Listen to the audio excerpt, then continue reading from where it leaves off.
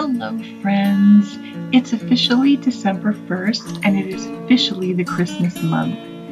This home tour collaboration is hosted by Daveda Lane, and I want to thank her for having an open collaboration. Make sure you go over and check out her channel. I will have it linked below in the description box. As you can see, I've decorated my mantle with the Target ceramic white houses. They're actually holding my vintage sign up because I don't have any nails in my walls yet. I just moved into my home. This vintage sign I purchased at a museum and I got it a couple years ago. But I wanted, these are the colors I'm using to tie everything together in my family room. If you see here, this is a bottle brush tree I got from Hobby Lobby last year. I World Market had some with bulbs on it like that, but I only saw Hobby Lobby that had them like that near me. Of course, the garland is from the Dollar Tree, and the light bulb garland that's wrapped around it is from Christmas tree shops. I don't know if you're familiar with that, but that was a store that is near me, and I love to go in and see all the wonderful Christmas items they have. Of course, that bottle brush tree is from Target, and another little Dollar Tree ornament at the end. Aren't the Dollar Tree ornaments wonderful? You can just use them to fill in so many places. This candle and the other one that was on the other side is from Pier 1. I got those at the end of the year last year, clearanced. I can't remember where I got this Joy of the World sign. I've been racking my brain, but I cannot remember. And then the lantern, of course, is also from the Dollar Tree. Here's a pan of my family room. I'm just getting started and I'm thinking of changing things up with the fireplace. If you have any suggestions, I would love to know. Here's my Christmas tree. And if you see on there, I have the vintage ornaments that I purchased from Michaels. That was my splurge this year. I'm really happy with those, and I'll show them to you close up pretty soon here. There's one right there. These are a substantial in size, and they're also shatterproof, which makes them better than the glass blown ones from the past because you don't have to worry about them breaking. They're quite a substantial size, too. I was very happy with that was my splurge and I was very happy with that. Here's another one. Again, I just really think they're gorgeous and I was very happy with them when I purchased them. Uh, they were $20 on sale and they were half off, which is a little steep. And I am bargain bluebird, but I do like to make one splurge every Christmas when it comes to ornaments and decorating. And then I use the lesser expensive items to fill in. These picks are all from Hobby Lobby, except the green ones. I believe the green ones I got from Michaels, and I got them clearanced a couple years ago. This is a vintage style ornament, and there's three others that follow, and they come from a Christmas shop that is the most wonderful Christmas shop in the world. It's called Bronner's. And if you are interested in me doing a video on Bronner's, a shop with me, I would love to do one. Just let me know in the comments if you'd like to see one because they have so many Christmas items you just would not believe. And many of my ornaments on the tree are from that particular store. Here's my nativity ornament, and somehow SpongeBob has ended up right next to them. Hmm. This is a vintage ornament of my husband's. This is Mighty Mouse, if you any of you remember him. That's an old one we like to have. And of course, you have to have the handmade ones your children made when they were young. And this is uh, one of my children made this one, I think my son. This is a little um, display that my daughter made in a girls group that she belonged in. Now last year, if you saw me, I had this bucket outside and I've decided to keep it in this year. It's actually my fall bucket and I just turned it around and put a bow on it. Save some money that way rather than running out and getting another one for Christmas. And most of the floral pieces in here are from Hobby Lobby. Um, the red berries may be clearanced from Michael's. I believe I might have got those at the same time I got the green picks that are on the tree. This is a candle box my son made. I love, and of course my throw from Walmart.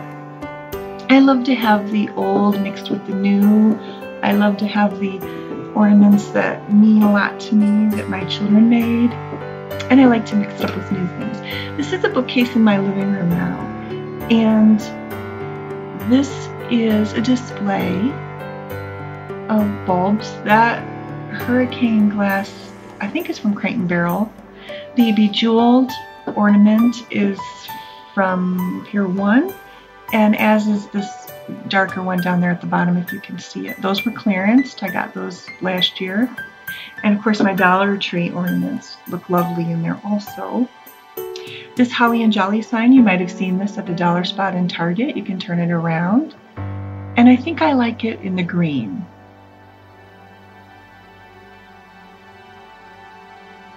This printable I got off of Pinterest. I usually have pictures in there, but I put um, a festive, decorative picture instead. This is another bookshelf I have, and I'm a homeschooler, so I use my bookshelves pretty regularly, and so my ornaments and my displays can't really be too intricate or involved. I don't want to knock anything over. This is my little tree that I got last year at Hobby Lobby. It was $5 and on it I have strung my string lights from Target. I believe those were $3 or $5, I cannot remember. Those mini ornaments were in the Wonder Shop and they were $3 for 16. I just got those this week. They were not in the dollar spot. I just wanted to make sure that I let you know that. This is my Merry Christmas sign that I got from Hobby Lobby. I hauled that earlier. I can link to my haul in the description box if you're interested in seeing that haul. These pine cone garland light up and these came from QVC. I got these during their Christmas in July celebration. If you are ever able to watch that in the summertime, you should because they have so many wonderful things. And I believe I even got free shipping on there. I think they were like $12 with free shipping. And of course, I put a little bow around my box there. That's where my homeschooler puts the completed work that he has done. And I just put my little snowflake ribbon around it to dress it up a little bit. This is my kitchen now, and this is all I have in my kitchen right now as far as decorating. Like I said, we have just moved into this home and I hope to have more done in my kitchen next year. So if you would like to see what I do in the future, please subscribe to my channel and I'd love to have you come along with me as I go on this journey of learning how to decorate this new home. This is kind of a dark little corner in my kitchen on my counter. And so I got this beautiful gingerbread house from Hobby Lobby, and it kind of has a little bit of a Grinch feel to it.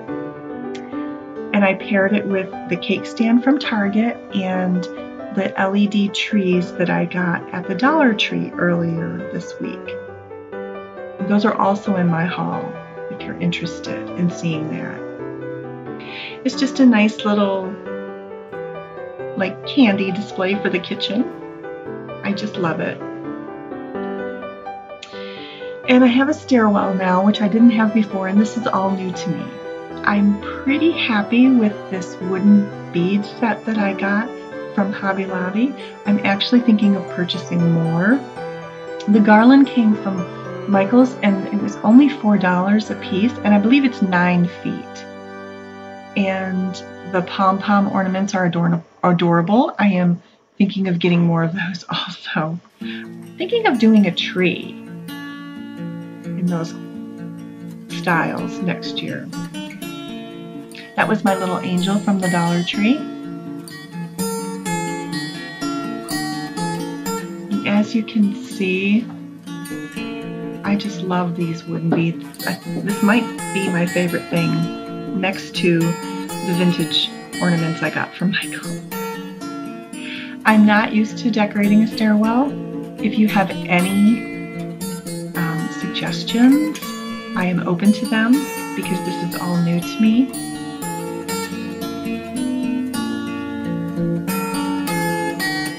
This is my other little angel, the Joy. And then this little table, this was also a picture in here. I've covered it for the Christmas season with another printable that was free from Pinterest. And this is my candle that stays out all year, and I just wrapped a little snowflake ribbon around it. I really want to thank you for taking the time to watch my video today. I hope you have a wonderful Christmas season. I hope and pray that you'll have a blessed new year. I look forward to making friends with some of you. If you would like to subscribe to my channel, we can get to know each other. I want to thank Daveda Lane for hosting this collaboration, and I love the fact that it's open and that I've been able to participate in it. Thank you so much for watching. Make sure you check out Daveda's channel. I'll link to it in the description box below. And once again, I hope you have a wonderful Merry Christmas.